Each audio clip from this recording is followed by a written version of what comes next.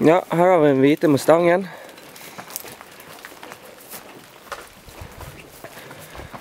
Sen har jag satt på den gråes skärm här för att jag har ingen skärm till den vita för den var totalt sönderrostad.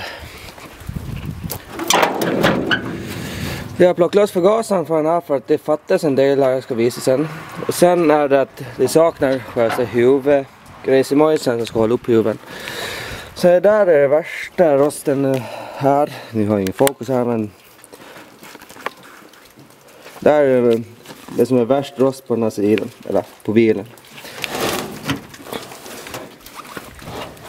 Eh, annars är det att det är ytrost överallt.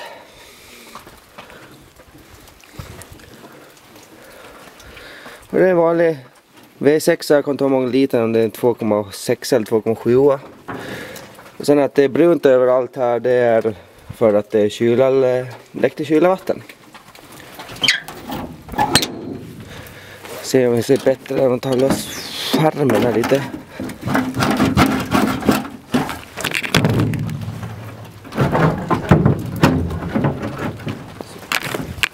Ja.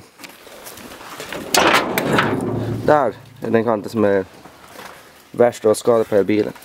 Men den är helt okej okay på nivå. Sen är den mossig som ni ser. Jag försökte spåra av den lite snabbt men det var inte så noga.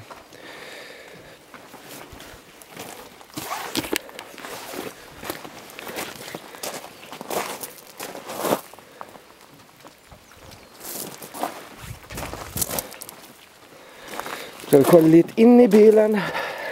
Det är en massa barr och skit här. Och eh, det som är, kanske ser prickar, det är mossa. Ja, satan. Där. Det är bara mosse om ni undrar vad det är. Sen är det lite utrostigt här och där. Där är det vanligt hål på Mustangarna fick jag höra på den här modellen. Likadant på andra sidan.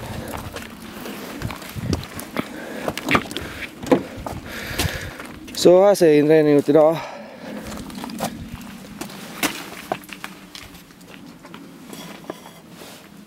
Jag kommer inte riktigt ihåg hur man öppnar nu skuffen på den här. För mig det var någon spak här. Japp, manuell fyrväxellåda, manuell fyra i den. Panelen var jag intresserad av den här.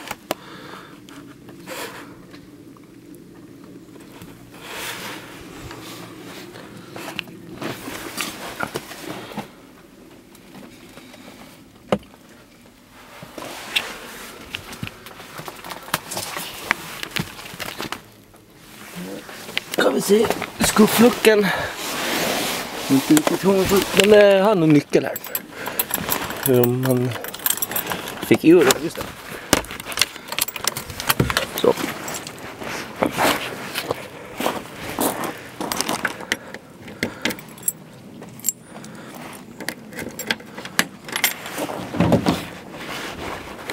Stötdämparna är också borta där bak.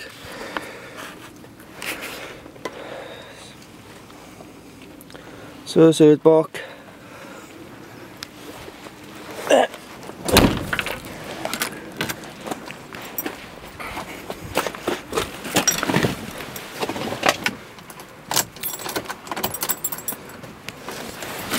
Ja, här har vi förgasaren. För man håller 40-40 heter den. Hatar det regnar. Eh, det är en del som ska sitta här någonting. Sånt här automatfåke som styr den här. Men som sagt den uh, har jag aldrig haft och jag har försökt hitta delen men jag har inte hittat. Och uh, för startaren det är montera den här och sätta i ett batteri och sen någon håller i där och håkar. Då har den startat. I alla fall för mig. Och lite startgas kanske. Ja då går vi till en grå. Den är bara totalt isärplockad i totalt i delar. Vi har en skärm och andra huven ligger där borta. Och det är en GIA-modell. Finns ingenting här. Och där är fronten. Så den är bara särplockad totalt. Här är den fortfarande frisk i plåten. Förutom att det är massa jävla utrost. Och här inne har vi fullt med bildelar. Så att eh, hela bilen ligger här inne.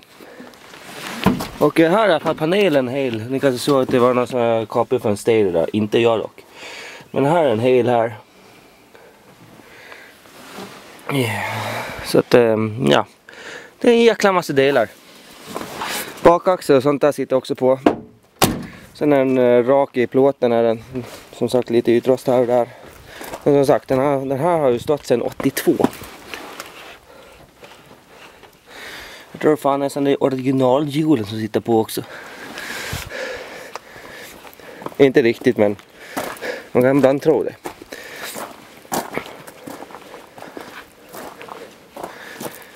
Ja, jag vet inte mer vad jag ska säga om den här men det är så de ser ut.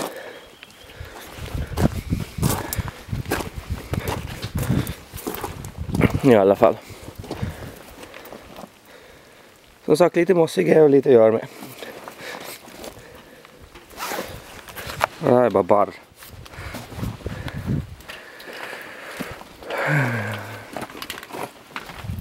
Och här är det någon som har spacklat så spacklet har lossnat lite grann.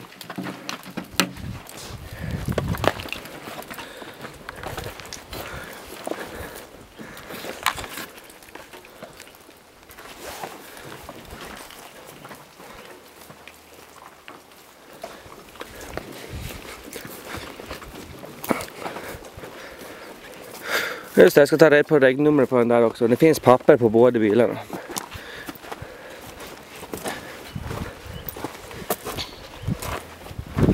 Jag vet inte vad regnplåten är till en bara.